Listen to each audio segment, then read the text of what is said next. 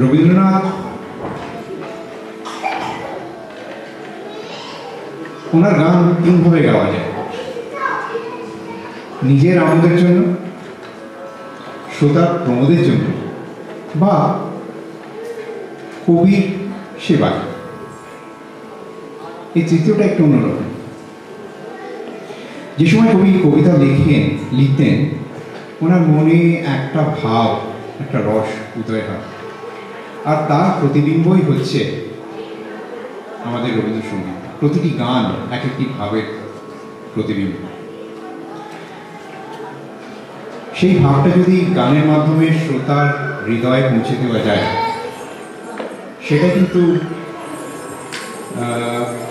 যারা রবীন্দ্রচর্চা করেছেন, সুচিত্রা মিত্র বা এরকম কণিকা বন্দ্যোপাধ্যায়, তারাও বলতেন যে সেই ভাবটা যদি শ্রোতার মনে পৌঁছে দেওয়া যায়, তাহলেই রবীন্দ্রসঙ্গীত গাওয়ার সার্থকতা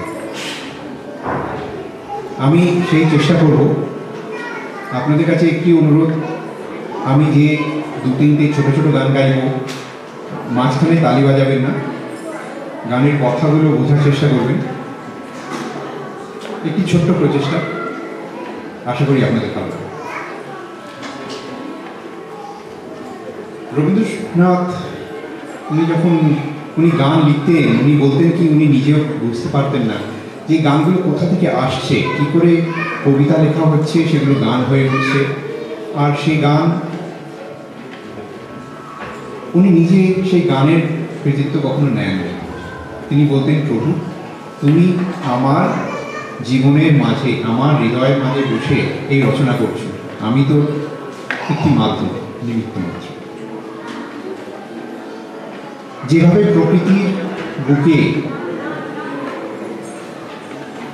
যেভাবে প্রকৃতির বুকে নানান রকম, নানান সুরে গান গাইছ, সেভাবে আমার প্রাণে বসেও, আমার প্রাণে বসে সেই গানটি সেইভাবে গাও। আজ প্রথম গানটি, এই ভাবটি আপনাদের সামনে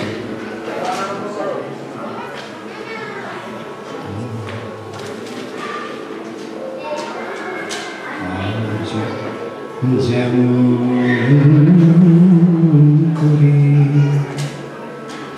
গাইছে আকাশ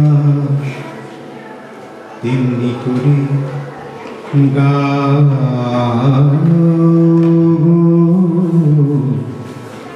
আজ যেমন করি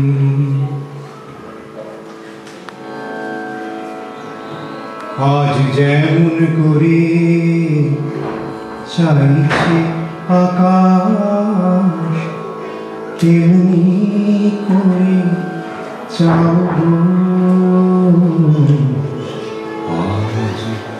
যেমন করে। আজ হাওয়া যেমন পাতায়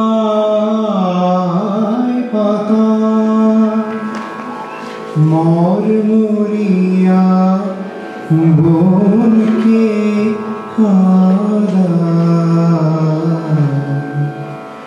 হাওয়া যেমন পাতায়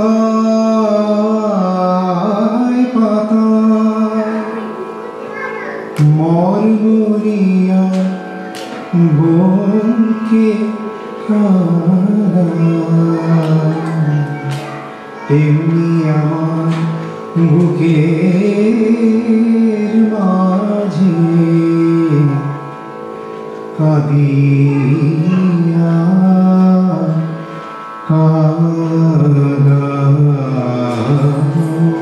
গো আজ যেমন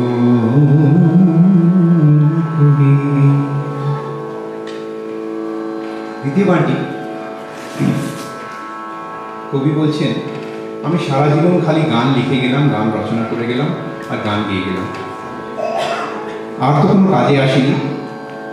হে প্রভু, এটা এই যেন তোমারই সেবায় আমি জীবনটা কাটালাম। শেষ জীবনে, জীবনের নিশিকালে আমার সাথে থেকো। আর এই জীবনের পর যখন নতুন জীবনে যাব, নতুন সকাল হবে, তখনও আমার সাথে থেকো। আমাকে দূর করো না।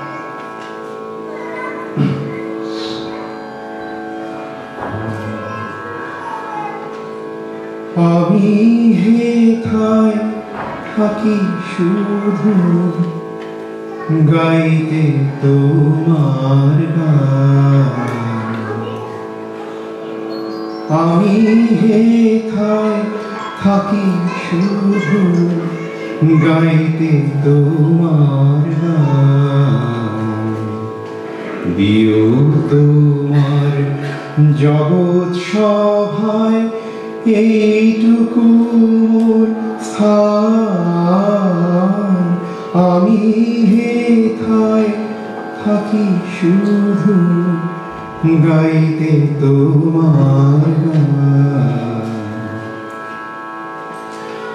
আমি তোমার ভুবন মাঝে লাগিনি না কোনো কাজে। আমি তোমার ভুবন মাঝে লাগিনি না কোনো কাজে। শুধু কেবল সুরে অকাজের প্রাণ আমি হে থাই থাকি শুধু গাইতে তোমার।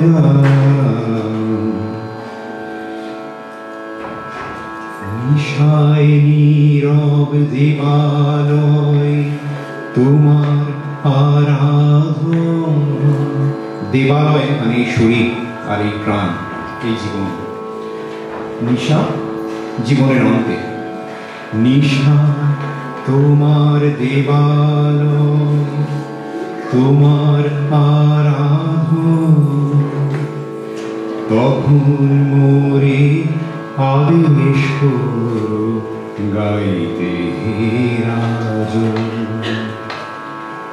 ভোরে যখন আকাশ জুড়ে বাজবে গিনা সোনার সুরে, ভোরে যখন আকাশ জুড়ে বাজবে বিনা সোনার সুরে। তখন যেন নারী দূরে।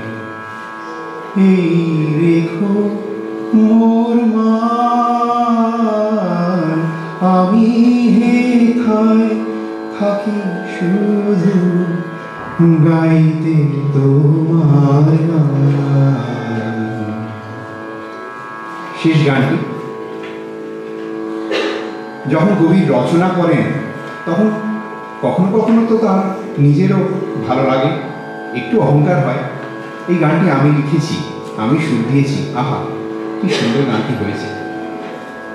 কিন্তু তার মনের একটা সমর, সমর্পিত ভাব, প্রভুর কাছে উনি সমর্পণ করে দিয়েছেন নিজেকে, নিজের নিজের নিজের ট্যালেন্টকে সেটা ওনার মনে পড়ে যায়, যে গান তো আমি লিখছি না। তুমি ক্ষমা চেয়ে সেই গান, এই গানটি লিখেছিলেন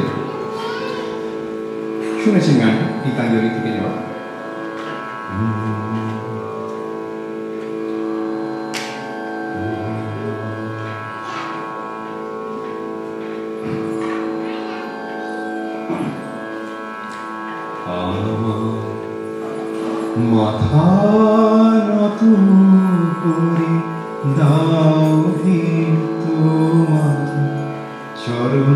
ধুলার পরে সকল অহংকারে আমার ডুবাও চোখের জলে মাথা নত করে দাও হে চরণ ধুলার নিজের করিতে গৌরবোদন, নিজের কেবলি করি নিজের করিতে গৌরবোদন, নিজের কেবলি করি অপমান। আপনারে শুধু ঘেরিয়া ঘেরিয়া আপনারে শুধু ঘেরিয়া ঘেরিয়া ফলে ফলে আমার মাথা নত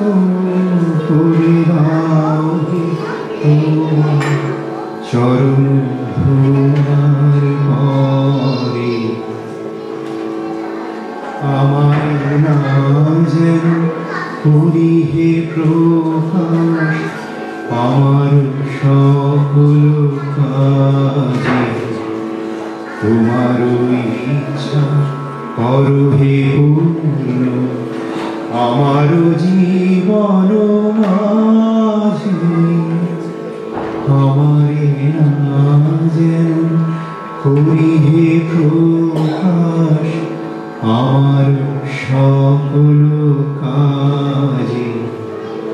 তোমারই ইচ্ছা করো হে পূর্ণ, আমার জীবন মাঝে যাচি তোমার চরণ শান্তি পরাণে তোমার পরম কান্তি যাচি তোমার